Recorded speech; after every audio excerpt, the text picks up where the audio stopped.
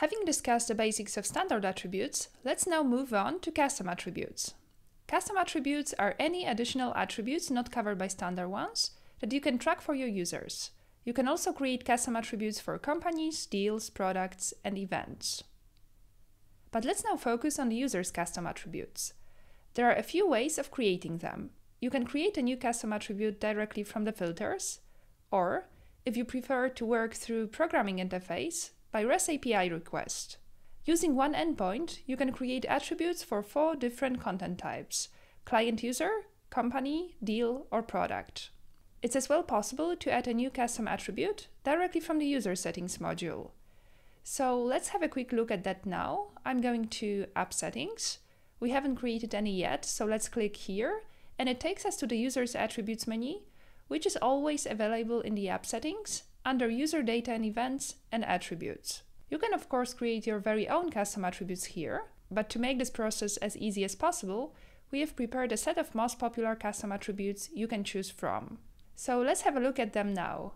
As you see, there are many options available and they've been divided by business type. We have a sample list for SaaS, B2B, and B2C, attributes useful for e-commerce, like for example, total spend or last category viewed.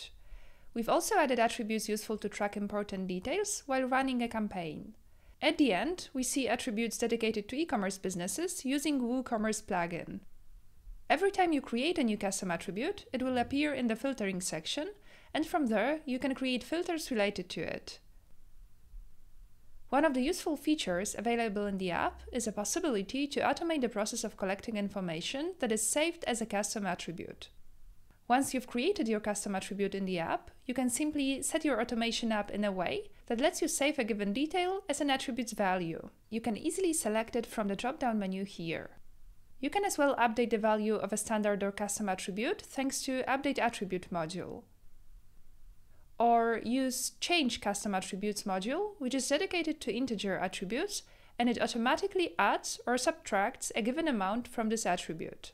An example, each time a user purchases something at your e-store, it increases the value of attribute number of purchases made by 1.